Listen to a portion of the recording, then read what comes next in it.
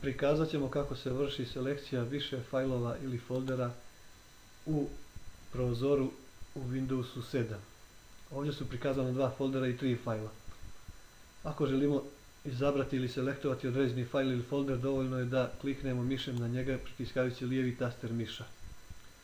Ako želimo selektovati više fajlova koji su jedan za drugim, onda ćemo jednostavno prevući mišem preko fajlova koje želimo selektovati. Sada smo selektovali ove tri slike.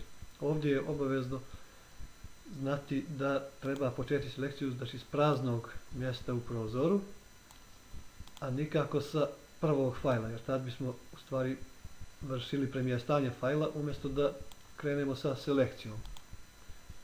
Više uzastopnih fajlova također možemo selektovati tako što ćemo kliknuti mišem na prvi fajl koji želimo selektovati, držimo pritisnuti taster Shift na tastaturi i kliknemo zadnji koji želimo selektovati. Vidimo da smo sada selektovali ova tri fajla.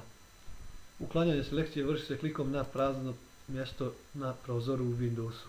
Ako želimo selektovati fajlove koji nisu jedan za drugim prikazani, a više ih je, onda ćemo pritisnuti na prvi, držimo dugme Ctrl ili Ctrl na tastaturi i klikamo fajlove koje želimo selektovati. Tako možemo selektovati proizvoljno više fajlova da nisu jedan za drugim.